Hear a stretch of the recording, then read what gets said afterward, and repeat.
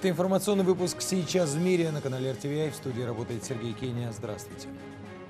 Иран обещает доказать мирный характер своей ядерной программы. В штаб-квартире ООН в Нью-Йорке госсекретарь США Джон Керри встретился с министром иностранных дел Ирана Мухаммадом Джавадом Зарифом для обсуждения ядерной программы Тегерана.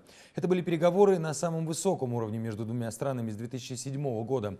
Керри заявил после встречи, что его приятно поразило заметное изменение тона иранских представителей, но добавил, что Тегерану еще предстоит ответить на много вопросов.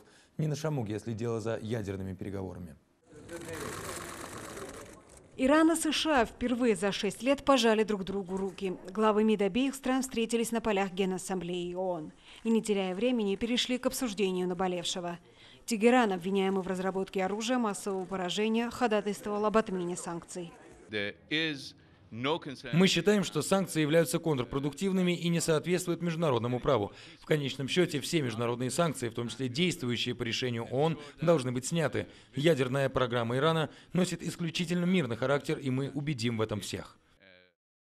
Вашингтон пока не верит и к сменившейся тональности высказываний сменившегося президента Ирана относится со сдержанным оптимизмом.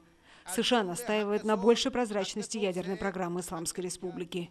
Только убедив Запад в честности и готовности идти навстречу, Иран в течение одного месяца сможет избавиться от наказаний. Uh, не стоит и говорить, что одна встреча, а также смена тона, которую мы приветствуем, пока не дает ответа на эти вопросы.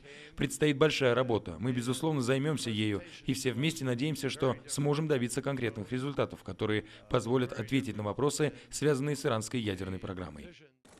Хорошей атмосферой и доверительным тоном диалога отметилась еще одна встреча, посвященная ядерной проблеме Ирана. В Нью-Йорке состоялись переговоры делегации из Тегерана с шестеркой международных посредников, пятью государствами, постоянными членами Совета безопасности ООН и Германией.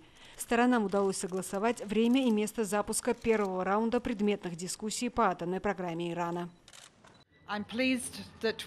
Я удовлетворена тем, что мы согласились встретиться в Женеве 15-16 октября для работы по данной повестке в надежде на то, что на основе сегодняшней встречи нам удастся добиться прогресса. В Тегеране рассчитывают добиться отмеченного выше прогресса за 3-6 месяцев. Западные страны не торопятся и год называют вполне разумным сроком для достижения и реализации конкретных договоренностей. Правда, оговариваются. Все опять же зависит от честности Ирана. Нина Шамуги, RTVI.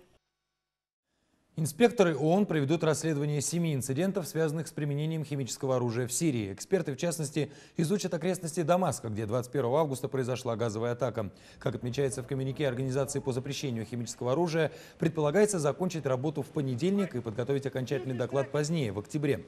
На прошлой неделе сообщалось, что Дамаск направил в организацию первые данные о своих химических арсеналах. Власти Сирии заявили о готовности передать все имеющиеся в наличии отравляющие вещества под контроль международного сообщества. Сегодня вечером Совбез ООН обсудит соответствующую резолюцию. Ранее на полях Генассамблеи России и США удалось согласовать проект документа.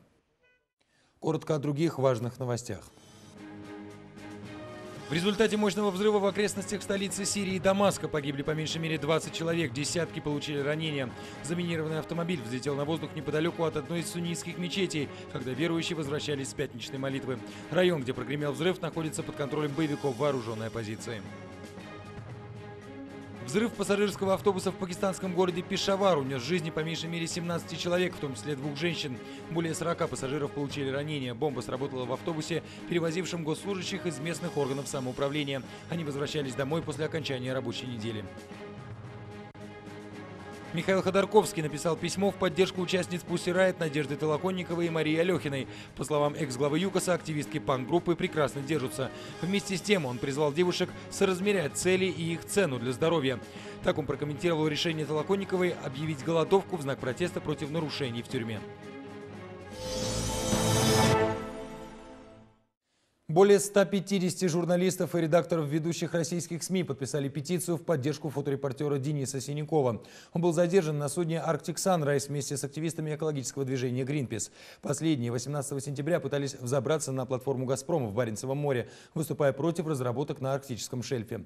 Сегодня суд Мурманска санкционировал двухмесячный арест 22 из 30 россиян и иностранцев. Еще восьмерым продлили срок задержания. Среди арестованных оказался и фоторепортер. В суде Синяков заявил, цитирую, «Моя преступная деятельность – это журналистика». В знак солидарности с ним некоторые СМИ сегодня убрали со своих сайтов фотографии. Ведущие журналисты требуют освободить коллегу и снять с него все обвинения. Действия властей они называют ударом по свободе слова. Напомню, в отношении участников экологической акции возбуждено уголовное дело по статье «Пиратство». Адвокаты и правозащитники считают обвинения надуманными.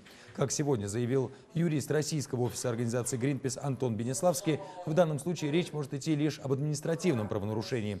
Да и такие обвинения могут быть предъявлены только капитану судна.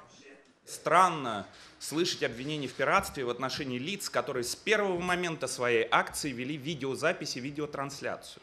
Я первый раз вижу пиратов, простите, в кавычках, которые так наглядно собирают доказательства своей деятельности.